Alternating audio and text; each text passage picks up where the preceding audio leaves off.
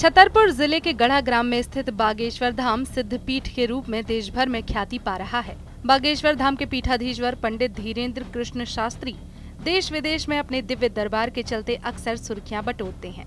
उनके दर्शन करने के लिए आम भक्तों के साथ ही कई वीवीआईपी भी बागेश्वर धाम पहुँचते हैं। हाल ही में मध्य प्रदेश सरकार के दो मंत्रियों ने बागेश्वर धाम पहुंचकर बाबा से मुलाकात की और उनका आशीर्वाद लिया।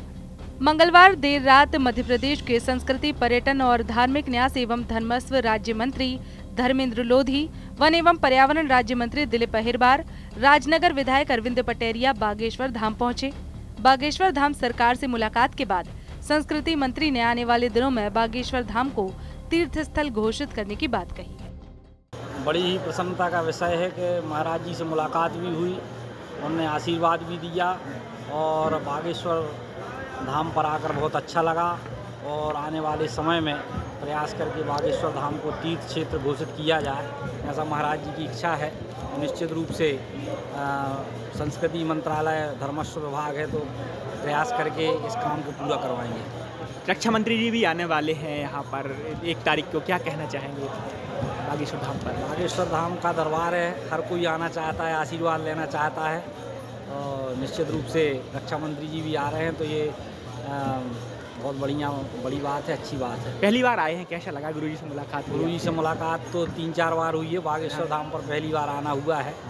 तो वास्तव में गुरुदेव की कृपा आशीर्वाद ऐसे ही मेरे ऊपर बरसता रहे। ऐसे ही मैंने गुरु जी से कहा है तो गुरु जी ने कहा है कि आशीर्वाद सदैव रहे। तो आने वाले दिनों में तीर्थ स्थल भी घोषित किया जाएगा मध्य प्रदेश सरकार के द्वारा? हाँ ये प्रयास करके इसको करवाएँगे। वहीं वन एवं पर्यावरण मंत्री दिलीप अहिरवार ने कहा कि जो कन्या विवाह आयोजन हो रहा है, उसमें प्रशासन की तरफ़ से जो भी सहयोग हो सकेगा, वह किया जाएगा। मंत्री धर्मेंद्र लोधी ने कहा कि बागेश्वर धाम आकर अच्छा लग रहा है। अच्छा दिन है मेरे लिए कि बागेश्वर महाराज की आशीर्वाद प्राप्त हुआ। निश्चित रूप से हर वर्ष हमारे गुरु जी महाराज, सदगुरु भगवान बागेश्वर महाराज जी के द्वारा जो गरीब कन्याओं की विवाह किए जाते हैं, वो एक सौ इक्यावन विभाव महाराज जी के द्वारा किए जा रहे हैं। और आज मैंने उनसे मार्गदर्शन लिया कि हम लोग किस प्रकार से इस कार्यक्रम के आयोजन में सहयोग कर सकते हैं। तो निश्चित रूप से हम बुंदेलखंड के लिए, मध्य प्रदेश के लिए बड़ी गौरव की बात है ये बड़ा आयोजन जो हमारे बागेश्वर महाराज जी के द्वारा हो रहा है। निरंतर ऐसे ही हम लोग शामिल होते रहे और उनका आशीर्वाद हम सबको मिलता रहे पूरे मध्य प्रदेश को पूरे देश को। संत महाराज बागेश्वर महाराज का आशीर्वाद इसी प्रकार से रक्षा मंत्री जी भी आने वाले हैं एक तारीख को बताया जा रहा है। सभी मंत्रिमंडल वो तो सभी के लिए समान हैं बड़ा ही उनका आशीर्वाद है। आज हमारे सीध हमारे पर्यटन मंत्री भी थे धर्मेंद्र लोधी जी हम लोग भी थे बनाए भी थे। सब लोग हैं धाम हैं आशीर्वाद लेने आए तो उनकी कृपा रहती है बालाजी भगवान की कृपा।